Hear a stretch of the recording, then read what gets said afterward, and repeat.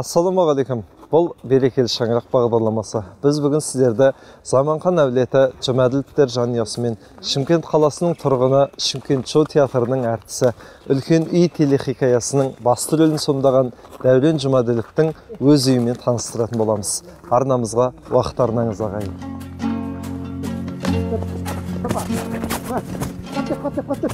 Ассалаумағалейкум қалайсыздар а міне келдіңіздер ма қош кетіпсіз міне сіздер келгенше кішкене шынығып алайық қыздырып алайық деп бәрекелді алып шығып ассалаумағалейкум балам бұл бала кім мұхамеджан ұлыңыз ба есімі мұхамеджан мұқаш осы аулада иә қыздырынып дұрыс әдемі ғой күннің сәулесімен өзі кино саласында көп жүресіз театрда көп жүресіз бала шағаға уақыт бола бере ма енді оны шынын айту керек осы киномен осы өнерге келгелі үйде көп бола бермейтін болса айдан анық оның үстіне той жиын бар одан көп келгенде сондықтан әйтеуір үйде болған сәтімізде мүмкіндігінше көңіл аударуға тырысамыз өйткені бұлар біздің болашағымыз иә иә бала деген ол өзі бақыттың мұхамеджан қалайсың ассалаумағалейкум де ассалаумағалейкум уағалейкумассалам даже азамат болсын сондықтан мүмкіндігінше көңіл бөлуге тырысамыз енді депозит қой бұлар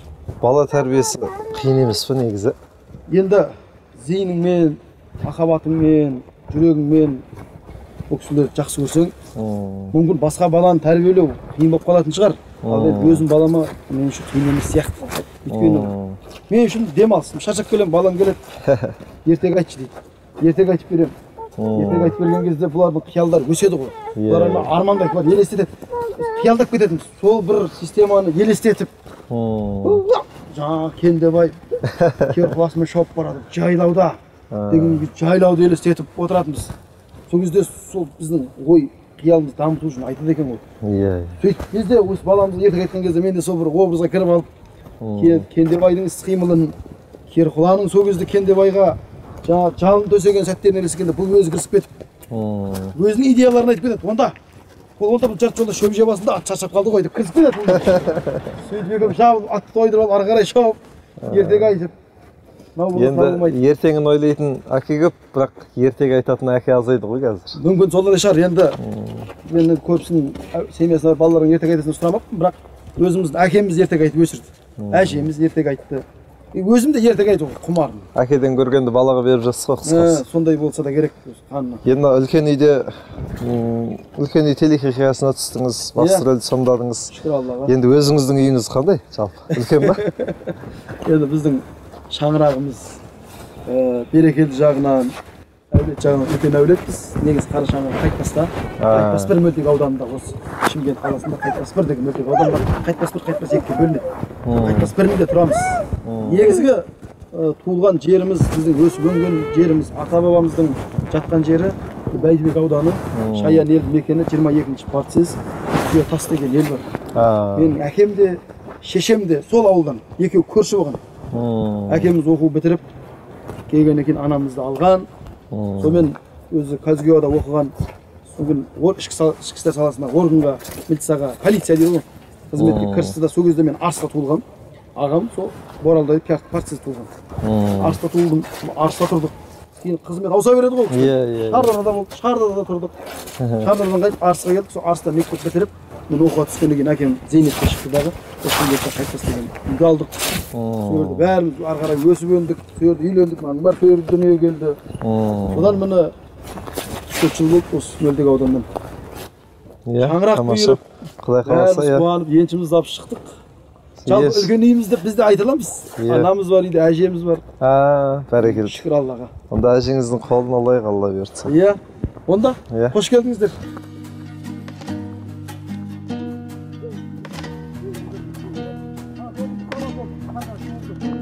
біздің осы ауламыздың орталығы осы жер.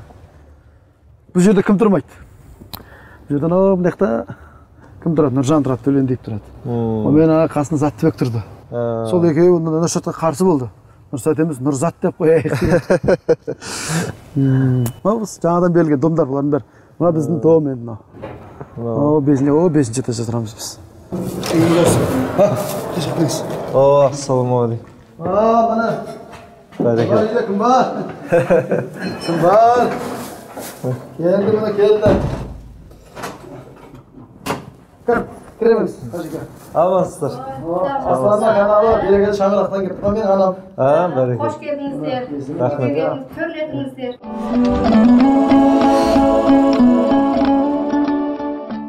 міне қажеке қош келдіңіз шаңырақ осы үй осы міне төрімізде отқан анамыз жаңа есіктен күтіп алған. Ақылшымыз осы кісінің құрсағынан тарағанбыз. Есімі нәзира әкемнің есімі заманхан. Әкеміз енді ерте марқұм болды. Осы әкемізден міне анамыз. Анамыздан осы әкеміз бен анамыздан екі бала екі қыз тарағанбыз. Үлкеніміз мен Бақ- бақытжан одан кейін мен дәурен. Одан кейін екі қарындасым бар. Ағам бақытжанның үйіндегі жеңгеміз мынау отырған балжан деп аталады есімі. Үлкен жеңгеміз. Одан кейін қарындасым нұрила. Одан үлкені гауһар еді ғой. Ол алматыда тұрмыста. Бұл студентка қазір білімін ұштап жүр. Одан кейін мына рамазан. Бұл енді шалдың баласы атасының баласы болғаннан кейін бұл үлкен немере ма? үлкен немере. Есімі рамазан.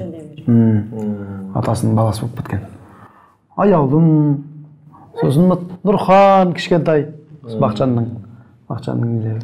Одан кейін ана мұхаммеджан деген біздің үйдегі жаңағы батыр футболист. Ана ақжібек ана дина осы біздің үйдегі келіншегіміз. Осы осындай әулетпіз. Жаңа өзіңіз сұрағандай үлкен үйміз деп біз де айта аламыз анамыз бар кезде бұл үлкен үй. Біздің отбасымыз осы.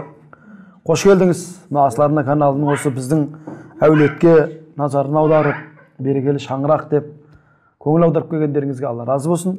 Ал енді үйдің салт дәстүрі ұл қызды қайтып өсіріп қайтып тәрбиелеп қайтып жеткізген бізден гөрі мына кісінің ә, көргені көп. Біз өйтіп осылардың осы кісілердің тәрбиесін алып өскенбіз. Сондықтан қалған сұрақтың бәрін осы анама қоя берсеңіз болады. Анам қазір тайға таңба басқандай қылып тамаша қылып айтып береді. Енді ұлыңыз мақтап отыр ғой мақтауыңыз келтіріп жатыр. Алла разы болсын. Біздің мектеп осы кісі. Иә. Университет. Осы енді мектеп болса мектептің басшысы ретінде сізге бұрылайық. Мынау ә, дәурен бауырымыздың отбасысы қалай құрылды? Сіздердің жалпы жанұяларыңыздың бастамасы қай жерден басталады? Және осы дәуреннің әкесі жайлы айтыңызшы. Дәуреннің папасы менің жолдасым заманхан. Ә, сол түйетас деген ауылда өмірге келгенбіз. Екеуміз де бір ауылда өмірге келіп сол ауылда танысып 80 жылдары отбасын құрдық. Сөйтіп сол семьяменен ә, ұл қыздар тәрбиелеп өсіріп келе жатырмыз міне. Ә, бірақ жолдасым сәл ертерек дүниеден кетті. 33 жыл бірге өмір сүріптік папамыз жақсы қызметте жоғарғы білім алды алматыда оқып заңгер болды. Осы арыс қаласына 81 жылдан бастап ә, қызмет бастады. тергеу бөлімінің бастығы болды. Шардараға барып қызмет жасадық. Сол 45 жасында ә, отставкаға шықты. Пенсияға деп айтады ғой. Одан осы қалаға қайтадан көшіп келдік. Университетте жұмыс істеді. Ә, заңгер сабақтарынан юрфактан деп айтылады ғой енді юрфак сабақтарынан заң, заң факультетінен ә, шәкірттерді ә, университетте білім беріп. Өзіңіз үй шаруасымен ба? Сол ұл қыздарды тәрбиелеп үйде қолымыздан келгенше ақылымызды айтып олардың жаңағы тіл алмай еркелеп жатқан кезде қазір папаң келсін папаңа айтамын десем болды. Папасы жұмыстан келген кезде бұлар үйге кіре алмайтын. Мамам айтып қойды ма не болды? деп. Соны келеді да балдарының бір бүлдіргенін барын байқап ана бала неге үйге кірмей жүр? Не істеді? дейді. Білмеймін деп мен де жаңағы сразу былай тез жауап беріп жамандай қоймаймын. Келіп шақырады да кел деп дастархан басына отырғызып қояды да өздерінен сұрайды.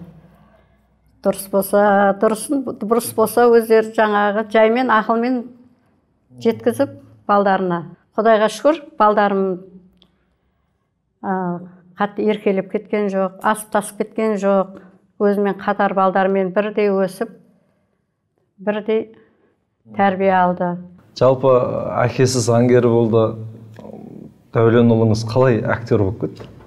Ә, бұл жерде ә, біздің өзіміздің ойымыз сондай болған баяғыда. Заңгердің балдары заңгер болу керек деген ұғым бар да. Мысалы үлкен баламызды түркістанға оқуға түсірдік. Заңгер. Құдайға шүкір қазір ол да жаңағы заң е, әкесінің жолын қуып заң қызметкері болып жүр. Дәуренді де осы шымкентке әкеліп оқуға түсірді папасы. Заңгерлікке. Түсірді. Оқы, заңгерлікті оқып жүр баламыз студент деп біз жүрміз ғой енді. Әр суббота күні воскресенье келеді күтіп аламыз шығарып саламыз. Бір күні папа мен шымкент шоуға театрға кіретін болдым деді екеуміз де ұрыстық. Әй сені әжептәуір мынандай оқытып жатырмыз. Осы оқуды сені сот болады прокурор болады. Жаңағы үлкен биіктен көреміз деп үндемей кетіп қалды. Бір күні қараса телевизорден көріп жүрміз. Бір күні магнитофон көтеріп келіпті үйге. Мен бірінші орын алдым деп. Сөйтсе біз жаңағы енді дүние ғой енді қуанып. Ой ұтысың құтты болсын деп. Жаңағы үлкен балам ол кезде ақтауда ә, жоқ қызмет бабымен сол жақта алғаш жұмысын сонда сол жақта жұмыс істеп жүрді. Ой звондап ә, әпке сіңілерімізге звондап туысқандарымыз дәурен жаңа театрдан жарысқа қатысып бірінші орын алып келді деп айтудың орнына. Дәурен жарысқа қатысып магнитофон ұтып алып келді деген ғой. Дәурен отырып күледі. Мама өйтіп магнитофонды айтпасаңызшы. Ә, бірінші орын алды грамота алды деп айтыңыз дейді. Сондай сондай қызықтарымыз көп енді. Майда енді күткеніңіз орындалды ғой ұлдарыңыздан? Құдайға шүкір. Иә орындалды. Заманхан ағамыздың дәуірі қысқа болса да тәлімі мол болған екен ұлдарыңыздан көріп тұр. Аллаға шүкір. Әпкелерім ассалаумағалейкум. О ассалам. Қалайсыздар? Жақсы ма бұл енді? Менің бұл да бір балам болып кеткен ғой. Иә ержан деген бұл біздің театрдың әртісі дегені болмаса осы үйдің бір мүшесі. Берекелі шаңырақ деп осыны айт міне. Мынау берекелі шаңырақтың ұйытқысы мынау анамыз міне.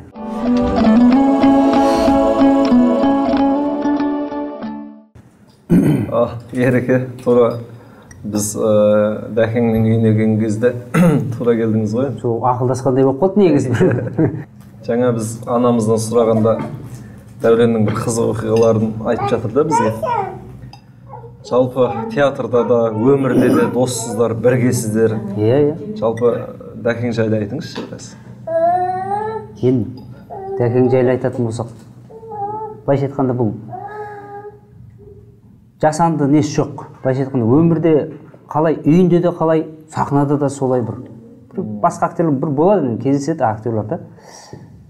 Бірдеңені жасанды істей қалайын өйтіп көріне қалайын. Жоқ бұл сахнада да үйде де ерекше.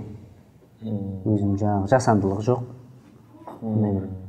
Енді жаңағы сыртта көңілді болғанмен ішкі дүниесі басқа бір енді бір болады ғой. Үйіне семьясына деген бауырларына деген бал өзінің семья балдарына деген басқаша бір нелермен қарайды Мейіріммен дәуренмен етене араласып жақын болып осы театрмен немен жүргеннен кейін інісіндей болып кетті. Сосын ақырында осы дәуренмен араласа келе нәзира анамызбен танысып осы былайша айтқанда біздің домалақ анамыз. Біздің ғана емес жалпы шымкент шоудың анасы. Барлығымыз құрметтеп алла разы болсын. Иә. енді келесі жағадан алып демейсіз. Жалпы осы дәкең жайлы білгіміз келгені ғой. Дәке осы шымкент шоуда әлі істеп жатсыз ба? Жалпы театрдасыз ғой қазір? Иә сол шымкент шоу театрындамын қазір. Бұл театрға кіргеніме де ә, қанша жыл болып қалды? Екі мың үште кірдім. Жиырма жасымда кірдім. Қазір енді алла қаласа отыз төртке келіп жатырмыз. Он төрт жыл болыпты осы театрда қызмет жасап жатқанымызға. Барлығымен сөйлесіп контрактісіне қол қойдық. Бірінші сәуірден бастап сәуір болмайды тәуір болмайды деп. Сәуірден бастап он серияны қайтадан бастайын деп жатырмық. Екінші бөлім сезоны осындай алла қаласа алла қалап жатыр жоспарларымыз осындай. Жалпы қанша киноға түстіңіз? Жалпы көп емес. Ең алғашқы киномыз енді ең бірінші киноның кино деп түсірдік өзіміз кино деп ойлаған киномыз шымкентте қуғыншылар бар ғой. Иә иә. Соны түсірдік өзімізді. Кішкентай камерамен. Содан басталды. Құрбылар деген кино түсірдік. Сөйтіп жүрген сәтте ә, еркін рақышев деген режиссер бар ғой. Кәдімгі жаралы сезім жетімдерді түсірген. Иә. ол кездерде жаралы сезім жетімдер деген кино бар. Қандай дүркіреп дүркіреді ол кезде кино әлі енді енді есін жинап келе жатқан енді енді аяққа тұрып келе жатқан. Жалпы кино жоқ десе де болады ол кезде. Еркін рақышев сол киноны шығарды да пах еткізді. Сол кісінің мәңгі өмір сүргім келсе деген киносына мен шақырылдым. Басты рөлде ойнадым. Осы өзім атым жөніммен дәурен жұмәділов болып дәрі шығарып бүкіл әлем қазақша сөйлеп кетіп кейін мен ұйқымнан оянып кетіп ол түсім болып шығып өкінішпен аяқталатын сондай комедия еді мәңгі өмір сүргім келсе соған түстім сосын жетпіс екі сағат дейтін еркебұлан жолдасов деген осы біздің шымкенттегі режиссердің киносын түстім өнер қандарымен бірге. Жетпіс екі сағат бар. Ә, кешегі үлкен үй бар кенжебек шайхақовтың күрке дейтін сериалы бар. Бес алты сериал болып кино болуы мүмкін түскені заң жағынан әзілдеп айтамын ғой юриске түстім. Юрис емес ел аралап турист болып кеттім деп. ол ауысып кетуімнің себебі бұл енді бала кезден махаббат тұғын өнерге. Жаңа айттым ғой біздің әкеміз өнерге өте ғашық кісі болған. Біз отырғызып қойып айтыс көрсететін отырғызып қойып театр көрсететін концерт көрсететін осылардан алыңдар ана сөздерін. Сөйтіп жүріп айтысқа өте қатты құмарттым мен. Соның үстіне мұхамеджан тазабековті бекарыс шойбековті аманжол әлтаев меліс қосынбаевтардың сөзін жатқа айтып мектепте домбырамды алып барып о айтып бәрін айтып беретін? Бірақ үйде біреуін білмейді бұл кісілер. Енді ұялатынмын қатты ұялатынмын әкеміздің көзіне тіке қарай алмайтынбыз ол кезде сөйтіп жүрген кезде оқуға түсейін деп жүрген кезде өзі әкеміз сұрайды ғой ей қайда оқуға түскің келіп отыр. Айтшы ниетіңді ойыңды айтшы. Нені жақсы көресің? Өзі әкеміз айтатын. Адам өзі екі нәрседен шатаспаса ол деп есептей бер бірінші өз мамандығы екінші жар таңдаудан шатаспаса ол ары қарай оның өмірі қалыптасып кетеді деп. Айт енді ал оқу қай жаққа барғың келеді? Айтшы дейді. ішім жүрегім театр деп сайрап тұр. Ай театрға барғым келеді. Театральный дейін десем ой ата сен қандай әртіс сенен әртіс шығамын әртіс болу үшін адамда қабілет болу керек десе мен бірден басылып қалатынын білдім да. Енді білмеймін ғой енді әке жолын жаңағы қу, қу дейді ғой әке жолын. Әке көрген оқ жонар сіз енді юридический түстіңіз милиция болыңыз сіздің жолыңыз милиция боламын дедім амалым жоқ. Сөйтем жарайды болды деді да. Мынау өзі гуманитарный мардан сапарбаев атындағы институтқа барып бірден апарып түсіре салды студент болып шыға келдік юрист болып жүріп ойнап жүріп оқып жүріп те сол жақтың квн іне араластырып жүрдік.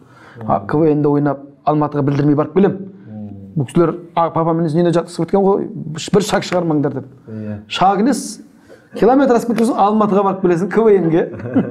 Оны біреуін айтпайсың біл- білсе қадағалап отырып ала ма тағы? Иә. Сөйтіп сөйтіп жүрген кезде біздің әйтеуір құдай әйтеуір жолын оңғарды ма? сол бізді квн дайындауға шымкент шоу театрынан медеу достаев дейтін режиссер келіп дайындайтын болды деді. Ол кезде шымкент шоудың енді әлсін әлсін аяқтанып ойбай шымкент шоу деген театр деп шығып келе жатқан аты. Сонымен ойбай шымкент шоудың режиссер дайындайтын болыппын ая деп. Сонымен әйтеуір не керек ол кісі келіп дайындады ол кісімен қарым қатынас жақсы болды. Ол кісі ұстаз болды маған. Барлық жерде айтып отырамын бірінші алла екінші ұстазым сол. Өнерге менің келіп өйстіп ықпал еткен медеу достаев өзіңіз де білесіз медеу ағаңызды. Сәбит аға жалпы шымкент шоудың президенті әбдіхалық әбдірайымұлы осы облысымыздың уақытысында бас ақыны болған айтыскер ақын сәбит әбдіхалықов сол кісі театрымызды ашқан режиссер медеу аған берік аған сонымен не керек театрға кеттік. Оқудамын бәрі жақсы дейміз да. Алматы талдықорғанда гастрольде жүремін папам тексеріп келіп қалмаса екен деп уайымдап кейін қой енді ұят болар деп бір күні айттық енді. Оқып да оқып жүре беремін ғой. Ана жақта да жүре берейін да. Бес он теңге беріп жатыр екен. Деп деп деп. Кейін оқуымыздың қайда қалғанын білмейміз. Осы театрмен кеттік қой. Осы театрдың киноның саласы отбасыңызға кері әсерін тигізбей ма? Жоқ. Ешқандай да әсер тиген жоқ. Қайта қолдау көп. Анамыз бар жұбайымыз бар аға бауырларымыз бар. Отбасын 2011 бірде құрдық иә 2011 жылы. Өзім 29-ға аяқ аттап келе жатқан уақытында үйлендім. Енді өнер деп жүріп қалдық. Отбасын құру керек деп ойлап қоямыз да бірақ оған аса мән бермедік па? Маңлайға жазған сол аллахтың бұйрығы сол уақытта келді ма? 29-ында үйлендім. М, содан отбасы құрдық. Үйленген уақытта да енді біз ол кезде уже өнерге ортасына келіп өйстіп жүрген уақытымыз ғой. Үйленіп жатқан жұбайымызға да түсіндірдік. Ол кезде де түсінді өнерде екенін біліп бәрін келді. Жоқ ешқандай кедергісі де тиген жоқ. Одан үйленгеннен кейін біреулер өзгеріп қалып жатады. Ондай өзгеріс те болған жоқ. Сол баратын жерге барып келетін жерімізге келіп сөйтіп жүрміз. Өзгерісі бар. Үйге келсең балапандарың алдынан шығады. Шаршап келген жеріңнен мауқың басасың демаласың сондай бір рахаттары бар. Енді өнерде жүрген кісілер жарды қалай таңдайды? Сіз қалай таңдадыңыз? Енді шынында да мен кейде ойлаймын ғой негізі ерте үйлендірген дұрыс балаларды дейді ғой. Мен өзім ойлаймын осы балалар өссе мектеп бітірді екінші курс үшіншісіне курстарында 19-20 жастарында үйлендіріп үйлендіріп жіберсең оңай ау деп ойлаймын. Өйткені жиырма беске дейін. жиырма беске дейін үйлендіріп жіберу керек екен да. Ол ертең немерең де өзіңмен бірге бірдей өсіп қалады екен да. Бізге қанша айтты үйлен деп біз тыңдамай. Ой жаспыз. Ой аяққа тұрып алайық. Ойбай аяққа тұрып алайық деп жүрген кезде жиырма тоғыз жыл өтіп кетті. Енді оны ойлаймын қазір. Мысалы қазір менің үлкенім ііі үштен төртке аяқ басып жатыр. Жас болса міне отыз төртке кетіп жатыр.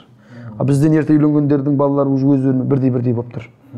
Сондықтан ерте үйленгеніміз дұрыс. Жар таңдау да сол кезде қиын болып қалады екен өзіңнің жас ақыл тоқтатқан уақытында. Жарды таңдау өте қиын. Өйткені көзің ашылып қалған бәрін біліп қалғансың өзіңнің жаратылысыңа қарамай меншіл сыншылға айналып кете береді екенсің уже возраст сондай да анау андай болмай әйтпесе көрсетіп жатқан көріп жатқан кісілердің бәрі менен артық болмасын ешқайсысы кем емес бірақ таңдап болып қаласың. Өте қиын болады. Ал енді мен әртіс екенмін деп таңдаған жоқпын. Өзімнің қалауымды іздедім кездесті алдым әйтеуір аллахқа шүкір тұрып жатырмыз. Сондықтан әртіс таңдады ақын таңдады демеймін. Өз бұйырғаны алдына шықса таңдауда тәкаппарлық жүрмейтін шығар деп ойлаймын да енді солай дұрыс енді шаңырағыңызға келіп дәміңізді татып ә, сіз, таңдаған жар енді жаман болды деп ойламаймыз аллаға шүкір ә, сіздің елдің алдың елдің алдындағы беделіңізді көріп кез келген тұлғаның артында әйел тұрады дейді ғой енді иә елдің алдында жүргеніңізге қуаныштымыз рахмет еңбегіңізге жеміс отбасыңызға береке тілейміз алла разы болсын қажеке келіп тұрыңыздар жалпы дәкеңнің балалығын анасынан тыңдадық жұмысын досынан тыңдадық. Ә, ердің сырын да жырын да білетін әйел ғой. Үйде қандай бұл кісі? Үйде сол ә, жұмысына қандай жауапкершілікпен қараса жұмысында қандай ә, қызмет істеп жатса үйіне де сондай қызмет істейді. Сол жұмысына істеп жатқан еңбегі сол үйіне әкеліп жатқан нәпақасы ғой негізінде. Екінің біріне беріле бермейді өнерде деген ә, басында бәрін осының бәрін ә, біліп түсініп келдік бұл жерге. Енді бәрін көрмесек те ә, жалпы не болатынын біліп деген сияқты. Ә, қазір енді ә, құдайға шүкір тәуба ә, отбасымызда ә, берекеміз ұйытқымыз ә, осы кісі осы кісінің арқасында иә жұмысынан келеді жұмысынан келгеннен кейін ә, жаңағы ас ауқатын береміз ә, одан кейін осы семьяның бәрінде неде күлдіргі болса үйде де күлдіргі. Даже ұрысып жатқан кезде де күліп жібереміз бетіне күліп тұрады ойнап тұрады деді. Сосын балаларына қатты жақсы көреді балаларды. Солармен бірге ойнағанды бос уақытын өзі де айтып отырады үнемі оны көріп байқап та отырамыз осылармен бірге өткізгеніне. Мен де қуанамын өзі де солай болып жатады. Одан кейін ол үйге келгеннен кейін намазын оқиды бес уақыт одан кейін балаларға не бір жерге апарып келеді не далада ойнаймыз. Жалпы осы уақытында осы балалардың көңіл бөлгенді жақсы көреді одан кейін сол кешке бәріміз жатар кезде балаларға ертек айтып бергенді жөн көреді соны ертек айтып беріп баласы өзі де сол әдетке айналдырған ертек сұрап отырады үнемі түрлі түрлі сол ертектерді айтып сонымен бала шағамызбен бәріміз ұйықтаймыз. ол өзінің бос уақытын негізінде еңбек еңбекқор үнемі наушникта не телефонмен жаңағы бәрін зерттеп тексеріп бәрін материал жинап отырады. Одан кейін үнемі қол босай қалса бізде отырар кітапханасы жақын. Сол жерде көп табылады ол сол жерде күніне бір кітапты тосып тастап екінші кітапты алып келіп жатады. Даже екі кітап оқып тастадым деп отырады тез тез өте сосын не андай байқампаз не дейді кітапты тез меңгереді тез жаттап алатынын байқаймыз сатира театрында ойнағанда бір пьесаларды бір күнде жаттап алады.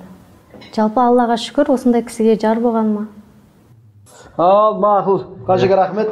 Алла разы болсын. Келіп тұрыңыз қонақ жайлықтарыңызға рахмет. Рахмет. Бір тамаша отырыс болды енді. Біз үшін де сіз үшін де осындай тамаша күндер көбейе берсін құдай қаласа. Ал сау болыңыздар. Баршаңыз аман болыңыздар. Сәлем айтыңыздар.